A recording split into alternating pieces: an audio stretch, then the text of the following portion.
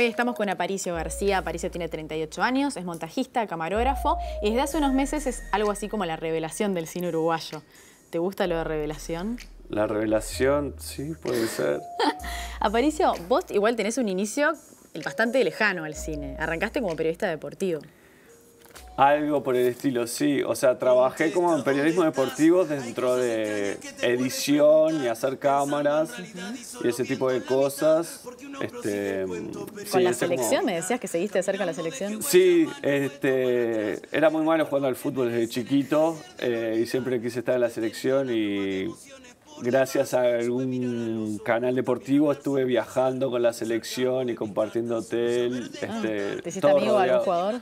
No, no, no, no, no me daban igual a los jugadores, pero igual estuvo buenísimo. Sufrí en Bolivia llevando una cámara hasta el último piso y todo ese tipo de cosas. ¿Y nunca se te dio por hacer algo de la selección, algún corto medio eh, bizarro de género, no sé, secuestrando a algún jugador o algo de eso? No, a mí lo bizarro de género no me gusta mucho, pero estoy como pensando en, hacer algo sobre parecido al fútbol, pero no desde el fútbol mismo, sino de, desde el periodismo deportivo, alguna historia. Ahí estoy como ahora trabajando junto, junto a Santulo, que estamos ahí con Fito inventando como un guion basado en una novela que, que él hizo. Y Matufia. Exactamente. Y que transita como, como ese mundo. ¿Cómo sos vos este, para construir las historias? ¿Tenés muchas ideas? ¿Sos de escribir guiones? Eh, sí, yo principalmente tengo dislexia este, y escribo muy mal. Eh, pero de todas formas escribo y siempre consigo a alguien que me corrija la falta de ortografía. Manuel este, Berriel en la primera película. Manuel Berriel, sí, y Pedro Peña también. este, sí, nos corregía la, falta de ortografía. Este, sí, no, soy malísimo escribiendo, pero eh, creo que como diálogos o cosas. ¿En los diálogos te sentís que sos bueno? Creo que sí, creo que sí. Este... ¿Tenías muchas ganas de dirigir? ¿Desde siempre? Sí, sí. Sí, yo no sé, de, chico veía películas, y, pero estaba hacer películas para alguien de San José es como muy parecido, por lo menos en los 90 era como era la luna, porque, o sea, película era algo carísimo, algo inaccesible. Estudiar eso era engorroso. No había carreras públicas que te enseñaban. No había carreras públicas y las privadas tampoco estaban muy desarrolladas y no había fondos, no había tipo forma de financiar eso. Claro, aún si tuvieras cómo estudiar, no tenías plata para hacerlo. Claro, claro. Este, y tal, como que yo no tengo muchas casas en mi familia como para ponerme a vender, para hacer películas que no van a ser rentables. Bueno, pero eras de filmar con tus amigos, ¿agarraste alguna cámara en algún momento previo? Sí, no, hacía... En, en San José hacíamos como cosas medias como teatrales, bizarras, este que he hecho de todo, desde La Sirenita, Sailor Moon, eh, cosas muy extrañas. ¿Para un público entre Para un público, no, no, para un público objetivo. O sea, ¿cómo dirías que te ve San José a vos? Como un freak. Ahora vamos a hablar de la noche y no se repite. Contame eh, de dónde surge la idea, si conoces a Pedro Peña, el autor del libro. Sí, mira, Pedro era líder mío en la CJ. Eh, yo era hermano, compañero de clase del hermano de él y él era líder nuestro y de hecho cuando íbamos al campamento de Artigas él me ataba para que yo no me escape de noche a la cucheta y dormía abajo mío por las dudas porque tenía miedo que yo prenda fuego o algo porque era como un niño bastante inquieto este no y siempre tuvimos re buena relación y cuando con Manu estábamos haciendo como un corto Manu me contó de un libro de Pedro que le había prestado a la madre y re entusiasmado me empezó a contar todo del, libro, bla, bla, bla, bla. Y antes de leerlo le dije, dale, ¿por qué no hacemos la mm. película? Así de la nada. O sea, habías hecho Señor Estable. ¿Ese corto te referís? Sí, sí. Y... Un corto que se puede ver en YouTube si alguien lo quiere ver. Obvio. De que vos dirigiste y ahí Manuel fue como tu, fue asistente de dirección. Sí, sí. Hizo la asistencia de dirección. ¿Y ya tenés alguno de los actores que después este, volviste a utilizar? Dos de los actores, sí. Uno, Ernesto, lo conocimos haciendo el corto y el Moncho, que tal, que yo soy como fanático del Moncho desde niño. Él era como un gordito que salía todo pecho paloma y hacía cualquier cosa y a mí me fanatizaba desde niño, el Moncho. Este, y, y bueno, Manu me dijo, le dije para hacer la película y él me dijo que no, ¿Por qué? No porque porque era una locura hacer una película, si querés hacerla, me dijo, entonces lo agarré como un par de días después borracho, lo traté de convencer, y me dijo que sí, y al otro día le pregunté a pesar de la resaca si seguía con la misma idea, y bueno, y me dijo que ¿Y sí. ahí crearon la productora Isla Patrulla? No, eso es Yamal, lo que pasa es que Es algo ficticio, ¿no? Un es todo, nombre. ficticio, es todo ficticio, ahora se llama Exarquia, pero también quería que se llame Pablo, o sea, to- todas las semanas cambian de nombre, pero no. Lo hicimos con, con la unipersonal de Manu para presentarnos a los fondos. Primera vez que te presentaste y ganaste. Eh, ¿O tuvo sí, no, nos presentamos a, a Alfona y no ganamos, evidentemente. Y entonces decidimos presentarnos a Telefilm porque no, no existía la línea de mm, ópera prima. Y nos presentamos con Manu a Telefilm. Aparte, no teníamos tantas páginas y eran muy malas y era, no sabíamos ni adaptar nada. Y siempre ganaba la misma gente, más o menos. este, entonces ta, nos presentamos a Telefilm, quedamos en Telefilm y ahí fue como que empezamos a pensar, ahora sí la vamos Ahora a hacer. Sí. Ahora vamos a ver el tráiler, este, que- un minutito, pero es que elegí el tráiler porque es imposible elegir una sola escena. La película tiene varias escenas buenísimas y es muy particular dentro de lo que es el cine uruguayo, así que el tráiler me parecía la mejor opción para que el espectador le guste. Si le gusta, la pueda buscar para verla en algún lado. Está en San Perfecto. José ahora, ¿no? Volvió La los cines. están, la están pasando esta semana y la semana que viene. sí. Bárbaro. Vamos a verla y después cuando volvamos quiero que me cuentes este, cómo fue entonces iniciar ese rodaje, cómo buscaste a los actores, las locaciones. Perfecto. Muy bien.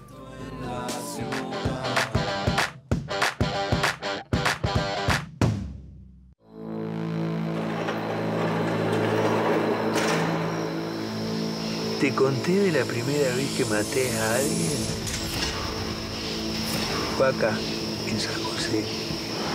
Pero esta vez es algo sencillo. ¿Con quién nos vamos a meter? ¿Viste el mende este? Sí, pero ¿cuándo me vas a hacer caso, mujer? Esta noche va a estar la plata de la coima en la estancia. ¿Y cuánto hay? ¿A vos 50 mil pesos? No, yo te pregunto cuánto hay en la estancia. Mirá, Violeta, que es mucha plata. Son tortones de plata. Así que vos tranquilito, ¿está? Que el postre lo vamos a comer esta noche en San José. Hola. ¿Esa es la francesita que está en tu clase? Voy a llevar al toque hoy. Te veo de nuevo y te guardo, guacho de mierda, ¿me entendés? No es necesaria tanta violencia. ¿Qué escena que tenemos acá? Completita.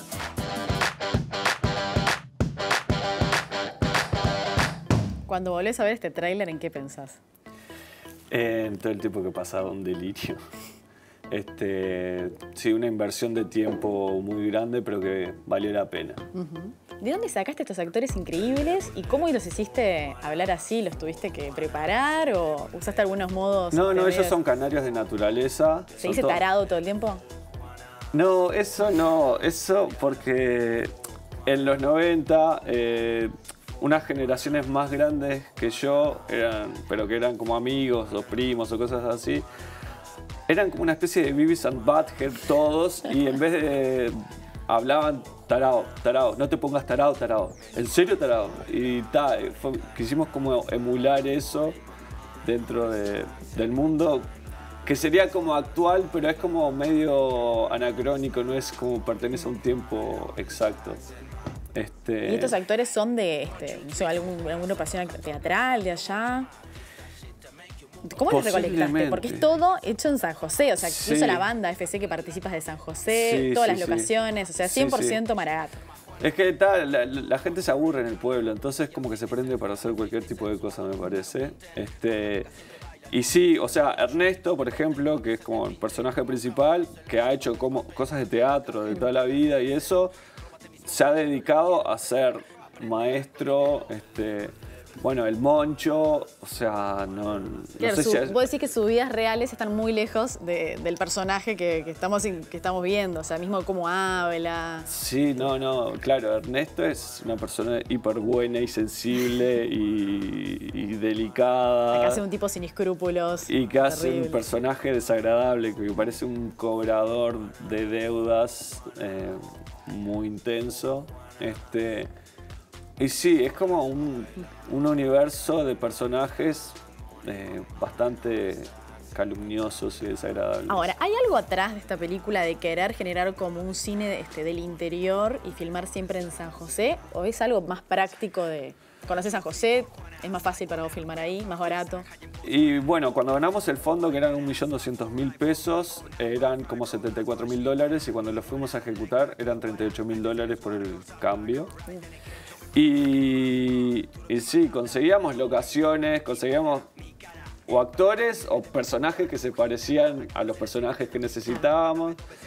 Este, y pensábamos que iba a ser bastante más escandaloso para el público, que las señoras se iban a alarmar mucho por el tipo de cosas que iban a ver en la película. ¿Y? Pero a las señoras les encantó, no sé por qué, o capaz porque veían al pueblo, entonces le daba todo lo mismo. Pero ¿Es verdad que vos pensabas que iba a ser tu única película, entonces hiciste lo que quisiste? Algo de eso, sí. O sea, teníamos como la, la concepción de que posiblemente sea la primera y la última película que íbamos a hacer. Entonces, Y pasó todo lo contrario. Porque fue un éxito la no película. hemos hecho otra película. Bueno, tampoco. pero tenés bastante. Saliste Mariati hace cuatro días. Hace cuatro días, sí. ¿Cuántos sí. uruguayos salieron ahí? Sí, en, en un mes salí dos veces. Bueno, ¿qué querés? No me quiero hacer el Te cheto, va- pero Ahora van a venir todos los productores a golpearte la Eh, puerta. No, ojalá. este, pero. No, y San José conseguimos como todo ese universo y era la historia ahí y sabíamos dónde filmar porque sabíamos las locaciones. Eh, ¿Ensayaste mucho? abundante, muchísimo, muchísimo. Nos pasamos está ensayando. todo, parece todo cronometrado, todo perfecto. Es que sí, fuimos, eh, partimos como de algo que era como alejarnos del guion y como hacer como las intenciones y como que los personajes, las personas que interpretan los personajes se apropien un poco de ellos y como que salir de, de la zona de confort de decir las cosas que están en el guion. Y, y fuimos improvisando, improvisando, y después cuando se estaba yendo todo mucho al carajo, ahí pusimos como una especie de dictadura para encarrilar todo y llegar a, lo- a donde queríamos. Pero ta, fue como un juego que, que fue buenísimo. ¿Y tu experiencia como montajista? Después, ¿cómo decís que influye a la hora de dirigir? Claro, si, si después de haberla editado la película, si hubiese sabido, la hubiese filmado completamente distinto. Porque está, porque de hacer cosas mal aprendes. Este, no, y como los tiempos y ritmos y cosas que se necesitan como filmar o qué cosas la- sería mejor más larga o más corta. Ah, mirá, pensé que te, tono. que te habrías quedado más conforme en realidad, porque Eh, yo qué sé, le- la hiciste como más después de ensayarla bastante. No, sí, pero. Pero no, nos dimos cuenta de cosas que hicimos mal y. Pero está, es como todo, o sea, escribís una cosa, filmás otra cosa y editás otra cosa completamente distinta y en esta película fue como un caso extremo de eso. Bueno, nos tenemos que ir, pero aparte de Matufia, quiero que me cuentes un proyecto que me dijiste ay- ayer, que pensé que era un chiste, uno de los proyectos Sí. que querés sacar adelante. Sí, tengo como dos ideas y una es Las MILF y una noche, que es como una especie de musical basado en Porcelio Olmedo, que dirigen a un grupo tipo Las Primas, que son las MILF. Eh, y está basado en los años 80 y sería como una especie de Citizen Kane sobre Olmedo. ¿Lo presentaste en Ventana Sur? No, no lo presenté en Ventana Azul, lo pienso pre- presentar en Desarrollo y Cabo este año. Bueno, ojalá que gane. Muchas, Muchas gracias, por venir. Bueno, esta fue la última entrevista de la primera temporada de Corre Cámara. Eh, nos vemos el año que viene, ojalá. Y les vamos a recomendar que en estos días vean Lázaro se va, una hermosa película italiana que ganó mejor guion en Cannes. La pueden ver en Netflix y esténse atentos porque en febrero vuelve la, la segunda parte del Festival Fantástico de Montevideo. Nos vemos.